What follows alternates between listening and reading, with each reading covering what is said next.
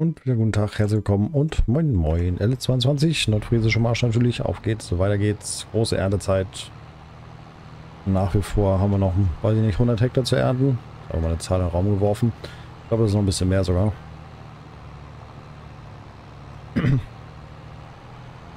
Da vorne fährt der Fendt, dann ist der John Deere schon da. Das ist gut. Wir müssen die beiden Mähdrescher jetzt auch gleich erstmal fertig bekommen damit die sich an Position 1 und 2 einreihen oder hätten fahren 3 und 4 und dann mit 4 Meter schon schnell 39 runter ernten. Das dauert dann auch nicht mehr lange, 20 Minuten ungefähr.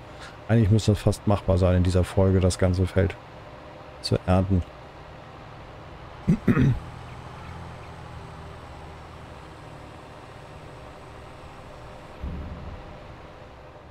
Aber den müssen wir dann gerne auch zur Zuckerfabrik losschicken, wenn er voll ist. Kommen so natürlich nicht in den LKW rein.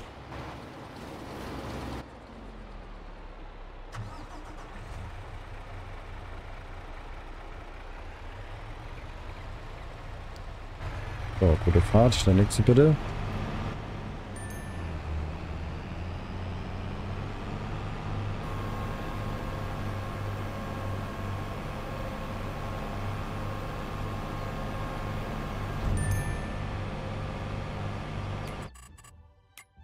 Oder gesparte, ne? 39 viermal. Kurz laden, aktivieren, zurück. Nächster Wegpunkt. Links 2 wäre... Ach man, wie dumm.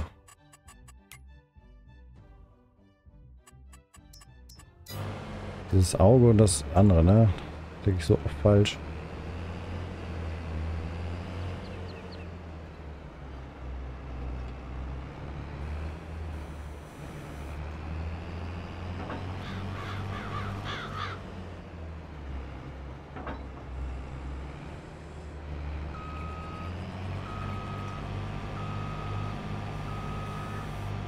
Den nämlich jetzt hier einstellen, Links 2. Natürlich schon ein bisschen komisch, weil dann wird er jetzt gleich die Ecke hier nochmal dreschen. Aber wir das, oder? Zwischenzeit, zack, zack, zack. Machen wir den nämlich fertig. Das dauert ja auch noch ein bisschen. Und dann reihen die sich ganz gut ein. Danke Leute für euren Support. Winterfest zu machen, macht Sinn wahrscheinlich. Nicht mehr so die Badezeit jetzt, ne? Ist wohl durch für dieses Jahr.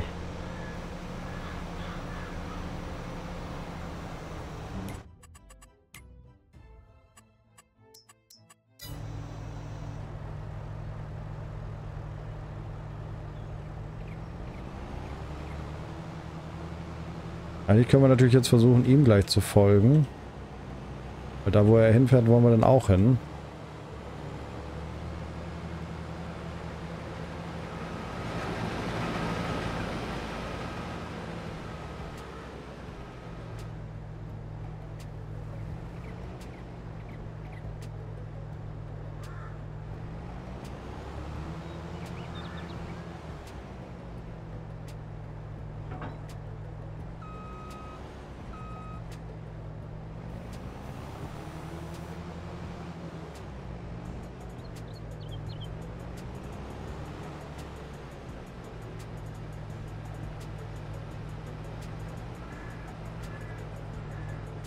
Also eigentlich müsste es hier noch gehen mit nächster Punkt.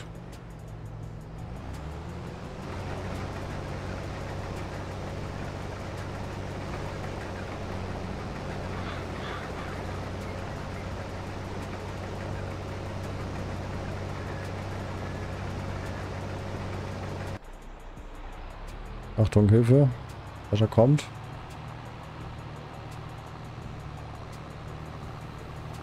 So. Eigentlich können wir ja hier auch reinbunkern, ne?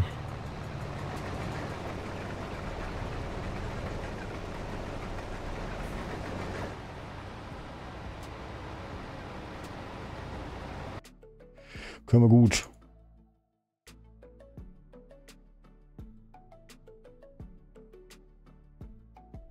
Mahlzeit.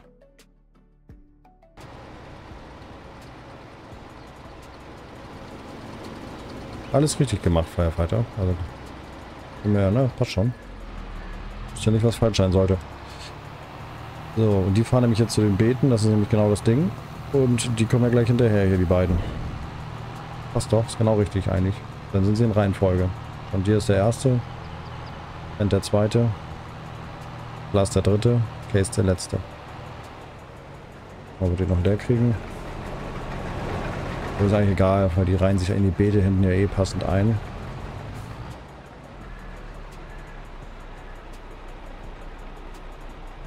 Mahlzeit, Mahlzeit, Mahlzeit.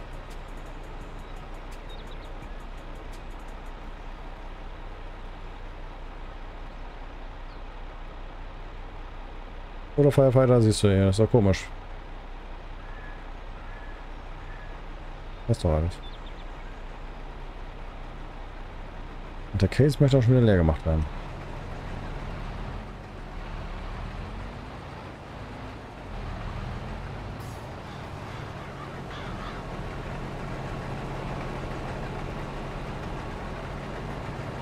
Dann kriegen wir aber den JCB wahrscheinlich auch schon voll. Das ist die zweite Ladung hier, so für die Malzproduktion.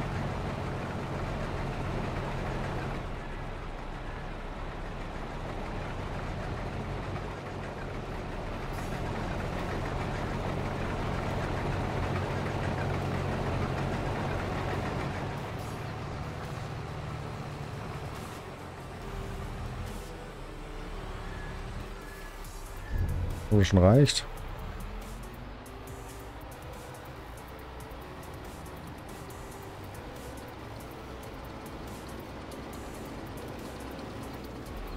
Passt. Ich würde ihn trotzdem losschicken, bevor er auf einmal vom anderen Mähdrescher getriggert wird.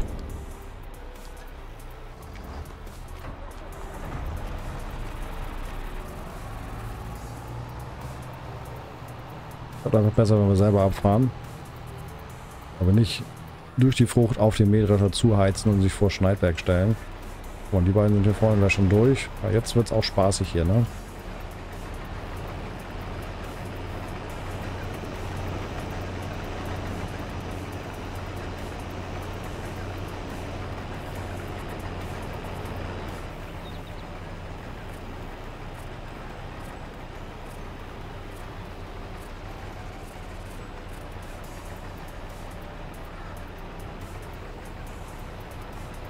Moin Moin.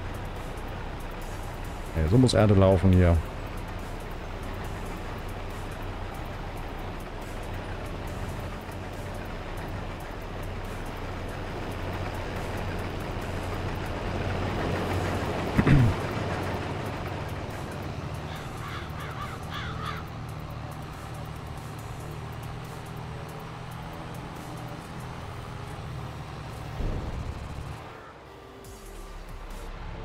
Lassen wir das Auto erstmal passieren.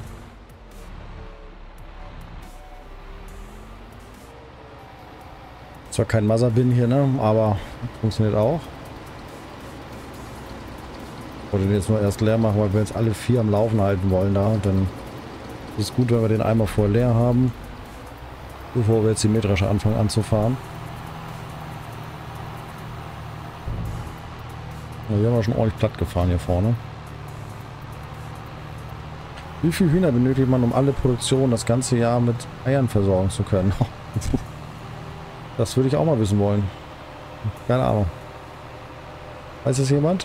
Wie viele Hühner habt ihr so und könnt ihr alle Produktionen versorgen, die Ei brauchen? Sei es Mario, sei es die neue Eisproduktion. Natürlich muss der Schlachter auch mit Hühnern versorgt werden. Keine Ahnung. Innere Moin.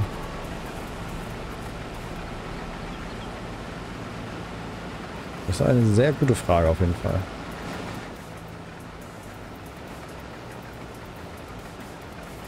Ja, so. Ich weiß immer nicht, was ich klicke. So, ne? Muss das aussehen, Leute. Wie mit Drohnenaufnahmen hier. Das wird jetzt ratzfatz gehen.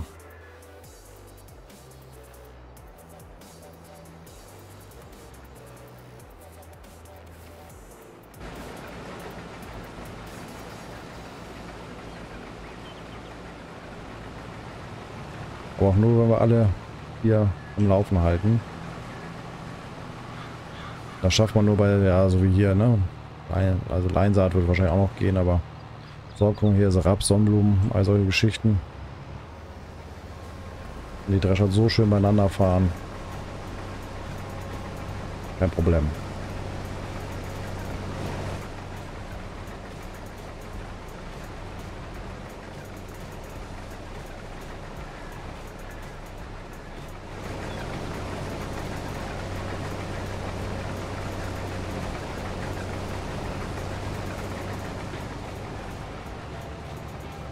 Imre, danke dir für 33 Monate mit Prime Sub am Start. Danke dir für deinen Support. Moin moin. Danke, danke. Na gut, lassen wir durch. Na, eigentlich hier ein Schimpfwort. Wie will eine Prüfung von mir haben? Äh, Big Bayern hat 10.000 Hühner. Also fünf große Hühnerställe oder wie? Können einen richtig schönen Hühnerzuchthof aufbauen.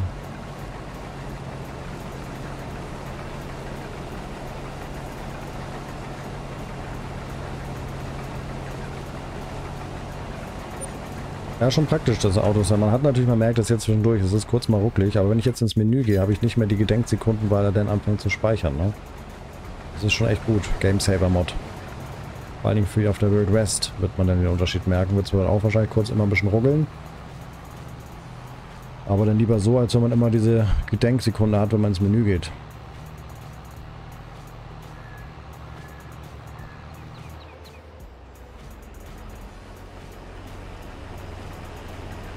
Jetzt haben wir jeden einmal angefahren.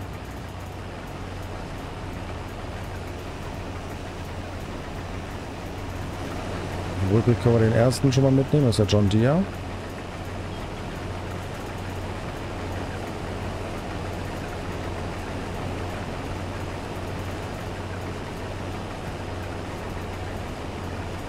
Dann geht es rüber zum Abladen auf den Anhänger, dann können wir den auch losschicken. Dann müssen wir wieder schnell zum Fendt.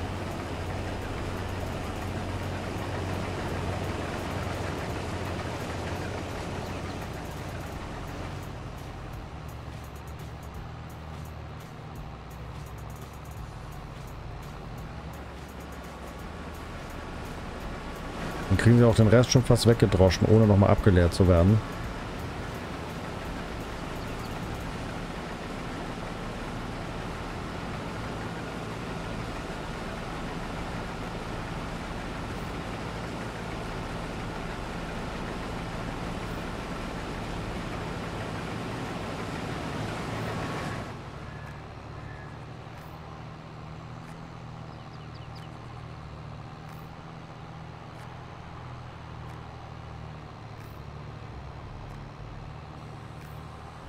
Merke, Fendt wäre der nächste.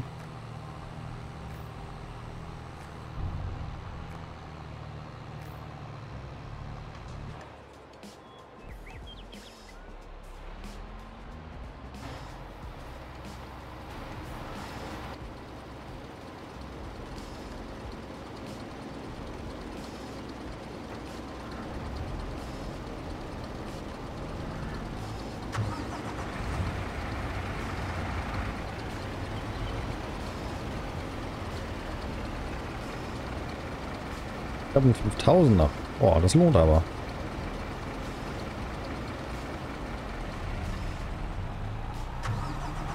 Fünftausender.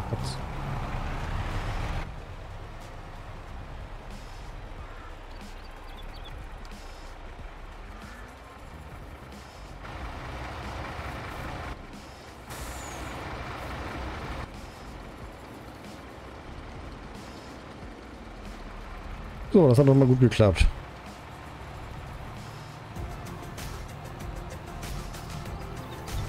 So macht den Spaß, oder? Tommy 82b, danke für den Prime, auch im 13. Monat am Start. Vielen Dank für deinen Support. Zwei Schlachter hast du, das ist eine gute Fleischverarbeitung.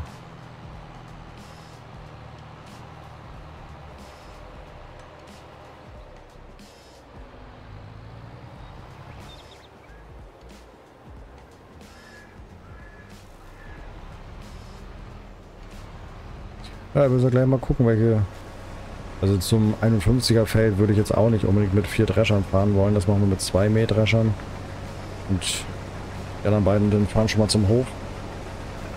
Einmal reparieren, einmal tanken. Dann dürften die schon fast fertig sein. Also wir können die dann noch schon mal zu 66 schicken. Und dann sind die anderen fertig.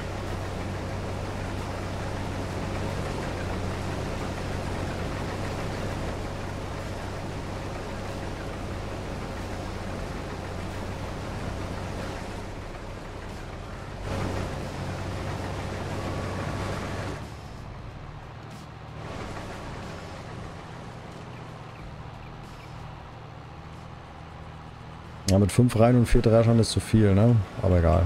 Der fährt jetzt, glaube ich, nochmal wieder komplett links rüber.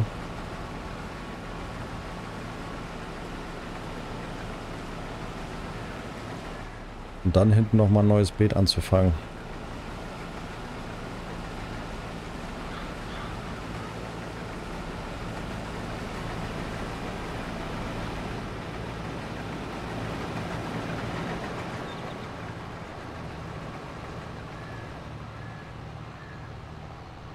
Ja, man denkt jetzt so, auch ja Pause machen, ne? Aber dann holt dann das wahrscheinlich schnell wieder ein.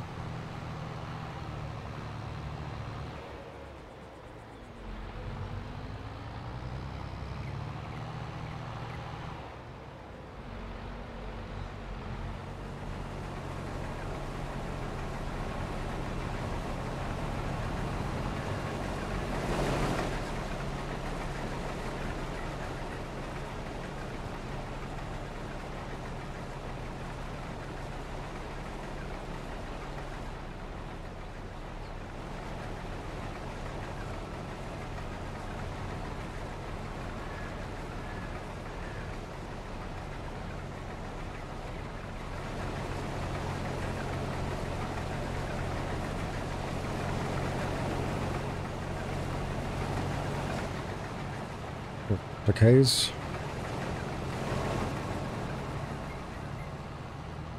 Ein Abfahrer steht schon wieder da.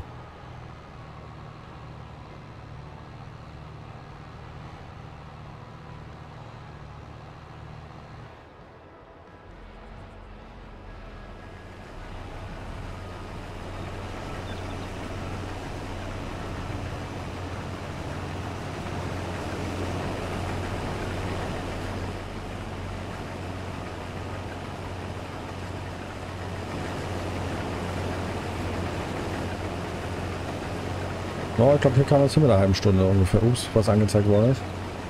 Nicht zu optimistisch gerechnet.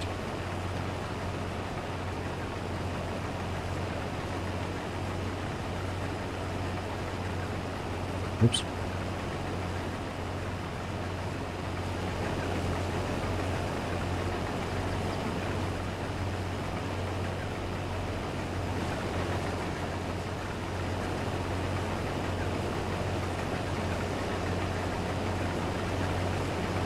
Schönen Sonntag gewünscht. Auch so, danke.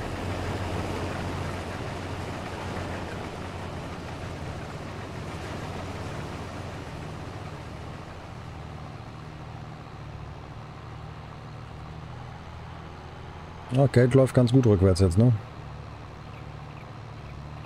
Wenn wir den John Deere noch erwischt, bevor er abbiegen will, weil der will hinten wohl eigentlich reichen. Wahrscheinlich alle vier fast für andere Seite noch. Ist nicht mehr viel zu machen.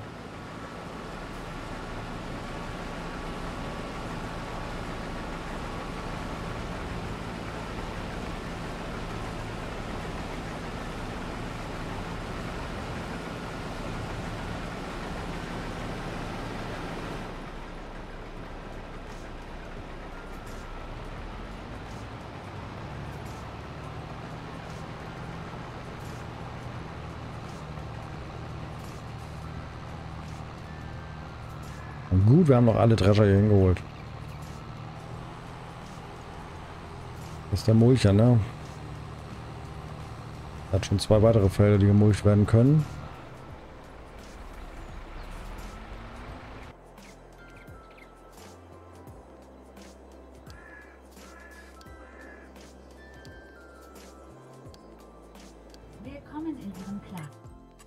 Ich glaube nicht, dass wir 13 schon mal mit so viel gemulcht haben. Sind immer nur die kleinen Kurse bisher.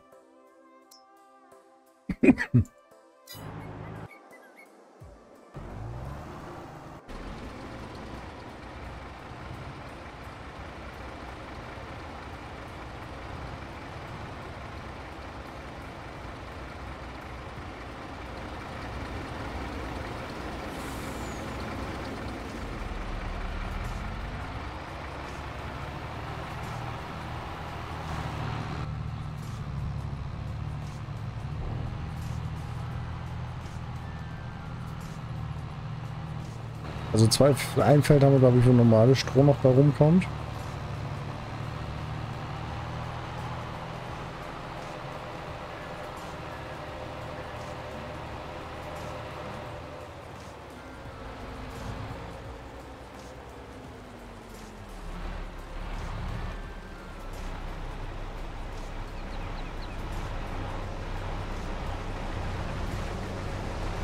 Getreide im Schwatt. Also ich mache es eigentlich nur bei Raps. Raps auf Schwatt legen. Kriegst du 20% mehr Ertrag oder so. Und bei Raps macht das ja schon was aus, weil man ja eh nicht so viel Ertrag hat vom Raps.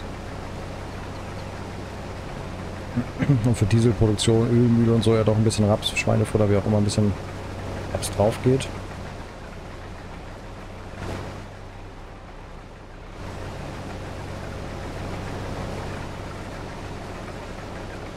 Aber es geht gut hier. Also ein Überwagen reicht für vier Mähdrescher in, in Hirse.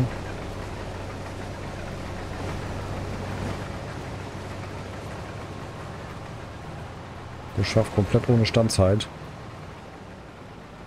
Und dadurch auch keine Verhakungen, ne? weil ein Abfahrhelfer auf einmal wieder vor Schneidberg, Schneidberg fährt oder so. Sondern wirklich ziemlich, ziemlich reibungslos. Moinsen. Ich habe einen Komposter gebaut. Achso, achso, da kam die Frage her. Was Hülsenfruchtstroh ist. Oder zum Beispiel genau von Erbsen, Kichererbsen, Bohnen. Da kommt auch Stroh bei rum. Nicht viel, also da muss man schon ein bisschen was haben. Aber man kann auch nicht erwarten, dass von diesen Hülsenfruchten viel, viel Stroh bei rumkommt.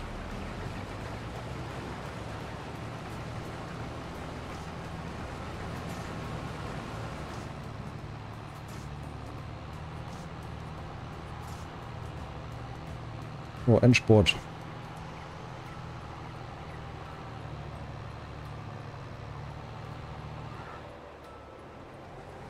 Okay, jetzt macht schon irgendwas komisches da hinten.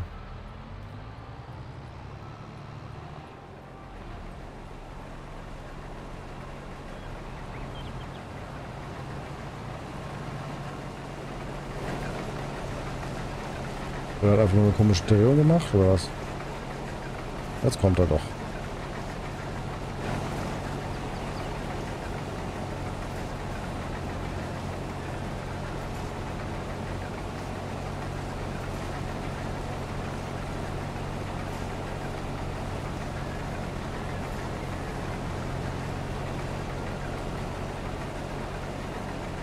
Passt ja ganz gut. Die fahren jetzt außen weiter. Also der Kurs bleibt sehr gut kalkuliert bisher, das Feld.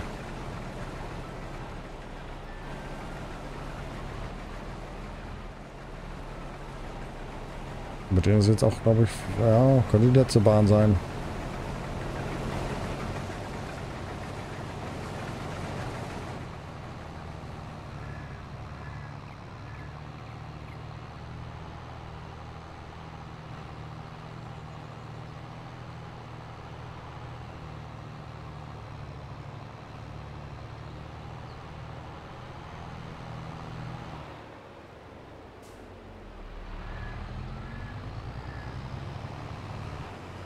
Ja, dann haben wir, glaube ich, noch, noch mal so zwei Hopfenfelder,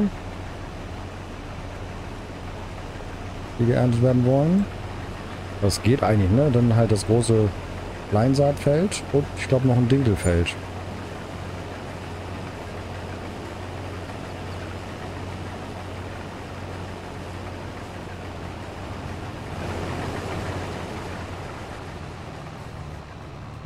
Wahrscheinlich nehme ich jetzt einfach für die 51 die ersten beiden hier, die fertig sind oder was. Und die anderen kommen zum Hof, zum Tanken, zum Auffüllen und dann weiter Richtung 66.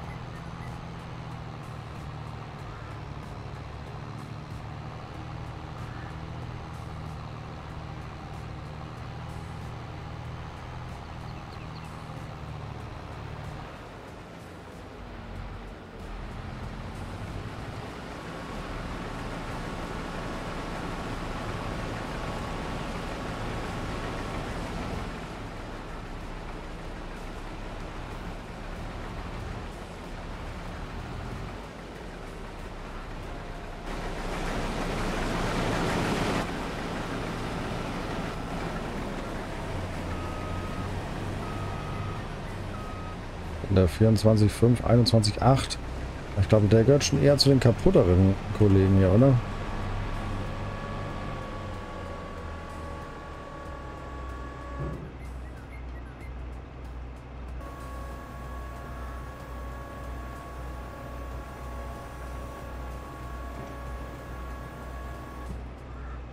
Also 24, 22. Schalten wir jetzt gleich mal, mal gucken, wie es im Fan geht.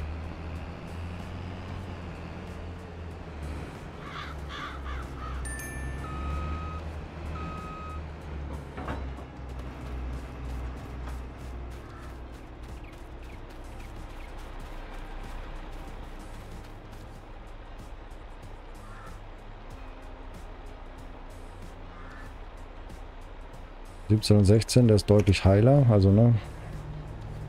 Der hat sich auf jeden Fall schon mal für Feld 51 qualifiziert.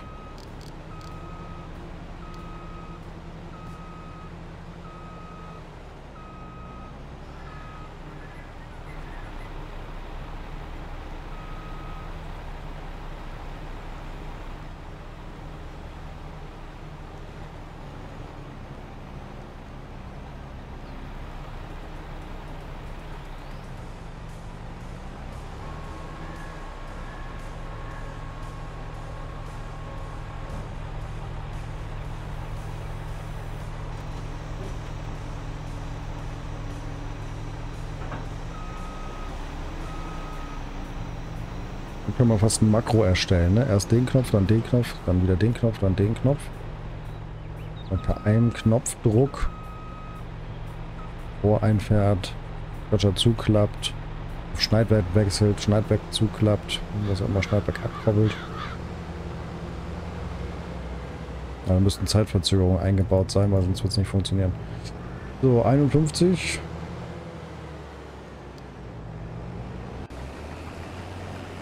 Der ist auch ziemlich kaputt. Der ist natürlich noch auch ziemlich heil. Also gut, Klaas und Fendt.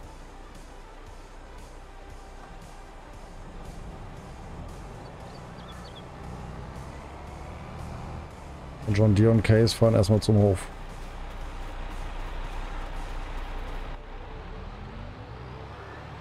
Und das wird auch nicht mehr passen hier.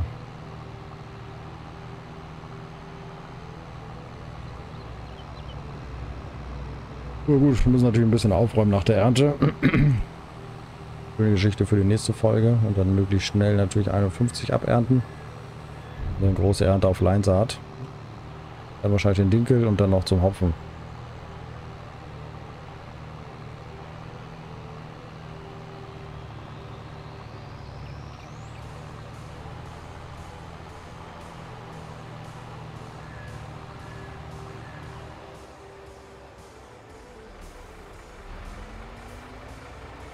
Mal überlegen, ob wir den Rest dann...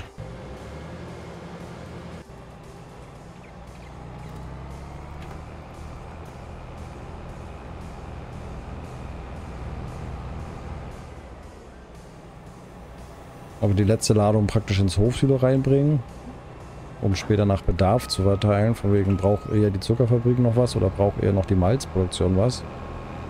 Dass wir jetzt sozusagen alles in Vorab schon verteilt haben.